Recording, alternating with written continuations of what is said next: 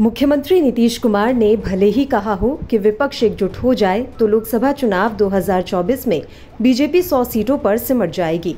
लेकिन विपक्ष में अभी ही फूट पड़ गई है, और यह फूट नीतीश कुमार के गठबंधन में ही हुई है। अगला प्रधानमंत्री कौन होगा, इस मुद्दे पर बिहार यूपीए में मतभेद खुलकर सामने आ गया है। बिहार कांग्रेस ने कहा है कि प्रधानमंत्री पद के अगले उम्मीदवार राहुल गांधी ही होंगे। लेकिन राष्ट्रीय जनता दल ने इसे खारिज करते हुए कहा है कि नीतीश कुमार ही सही उम्मीदवार होंगे। हम बताते हैं कि मामला क्या है और इसमें सियासत का पेच क्या है। बिहार कांग्रेस प्रवक्ता असित नाथ तिवारी ने कहा कि राहुल गांधी ही विपक्ष के पीएम उम्मीदवार होंगे। उन्हीं के नेतृत्व में महागठबंधन एकजुट होगा।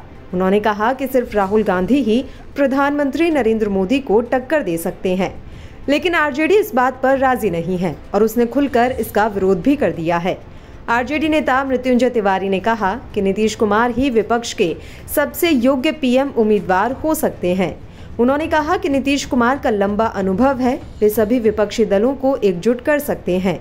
आरजेडी नेता ने आगे कहा कि नीतीश पीएम मटेरियल हैं, वे सबसे बेहतर पीएम उम्मीदवार हो सकते हैं। मज़ेदार बात यह है कि नीतीश कुमार खुद इसके पहले कह चुके हैं कि उन्हें कुछ नहीं चाहिए और वे पीएम उम्मीदवार बनने की दौड़ में नहीं हैं। दरअसल, ताज़ा मामले की शुरुआत बीते हफ़्ते पटना में सीपीआईएम लिबरेशन के राष्ट्रीय सम्मेलन से हुई। इस कार्यक्रम में नीतीश कुमार ने विपक्षी एकता पर ज़ोर देते हुए कहा कि यदि सभी विपक्षी दल एकजुट हो जाएँ तो बीजेपी 100 सीटों पर सिमट कर रह जाएगी। उन्होंने इसके साथ ये भी कहा कि उन्हें खुद कुछ नहीं चाहिए। लेकिन इसी कार्यक्रम में मौजूद आरजेडी नेता और उप मुख्यमंत्री तेजस्वी यादव ने कहा कि कांग्रेस को ड्राइविंग सीट क्षेत्रीय दलों के लिए छोड़ देनी चाहिए। उनके कहने का मतलब साफ़ था कि प्रधानमंत्री उम्मीदवार कांग्रेस नहीं, क्षेत्रीय दल के किसी नेता को होना चाहिए। हालाँकि कांग्रेस इससे सहमत नहीं है और वह इसके पहले भी कई बार इसका संकेत दे चुकी है। कांग्रेस अध्यक्ष मल्लिकार्जुन खड़गे ने नागालैंड में एक रैली में कहा कि लोकसभा चुनाव के बाद केंद्र में कांग्रेस की सरकार आएगी, राहुल गांधी उसका नेतृत्व करेंगे। कांग्रेस के वरिष्ठ नेता कमलनाथ भी कह चुके हैं कि राहुल गांधी ही विपक्ष के पीएम उम्मीदवार होंगे। भारत जोड़ो यात्रा की कामयाबी के बाद कांग्रेस का हौसला बुलंद है। कांग्रेस महासचिव जयराम रमेश ने साफ़ कहा कि कांग्रेस के बगैर विपक्षी एकता की कल्पना नहीं की जा सकती। उन्होंने ये भी कहा कि भारत जोड़ो यात्रा का मकसद कांग्रेस को मज़बूत करना ही था।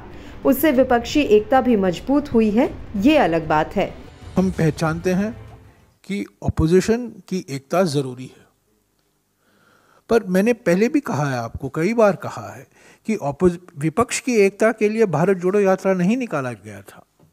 विपक्ष की एक शत एकता एक परिणाम हो सकता है, भारत जोड़ो यात्रा का। और इस पर विचार होगा प्लीनरी में। क्या रूप लेगा, वो हम अभी नहीं कह सकते।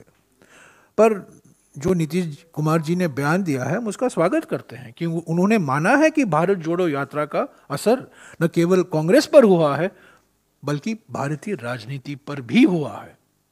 ये भारतीय राजनीति के लिए एक परिवर्तनकारी क्षण उन्होंने स्वीकारा है।